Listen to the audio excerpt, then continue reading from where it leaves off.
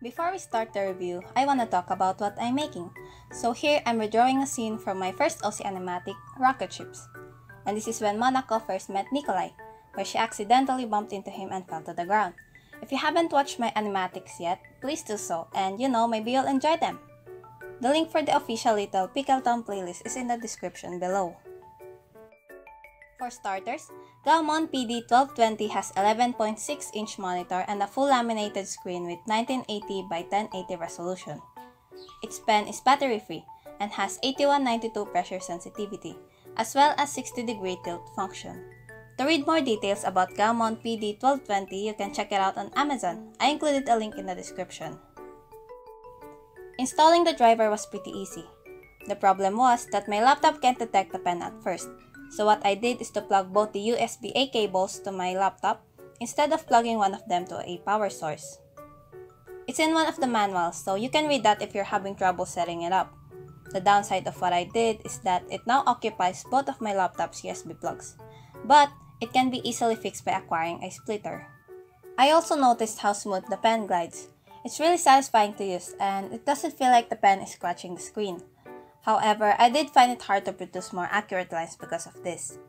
It's something that may take a while to get used to, especially for those like me who came from drawing tablets that didn't glide as smoothly.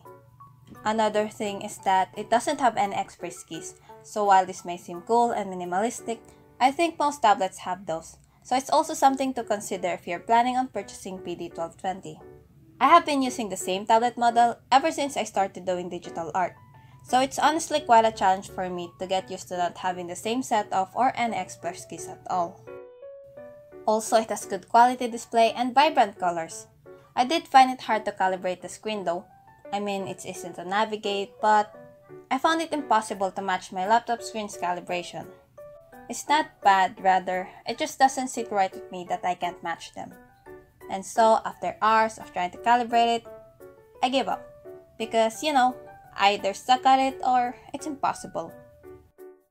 The pen display itself is not that lightweight, but it is lighter than I thought it would be.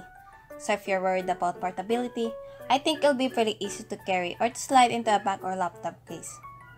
But if you're, say, a laptop user like me, and you want to draw on one location and then relocate to the next, it'll be a hassle to set up. I know this is just me being too used to having a tablet that only has one thin cable, but the amount of cables I have to plug in every time I want to relocate my setup isn't completely hassle-free. And it isn't sightly either. It can be fixed by having a Type-C to Type-C cable which is unfortunately not included in the package. Good news is it's probably easy to buy online. If you think about it, all my qualms about PD1220 can pretty much be resolved by two things. 1. Buy additional stuff to make my life easier. And 2. Get used to it. All in all, it has high quality display and great pressure sensitivity. You know, all that stuff. I definitely recommend this to both beginners and to those planning to upgrade into using display tablets.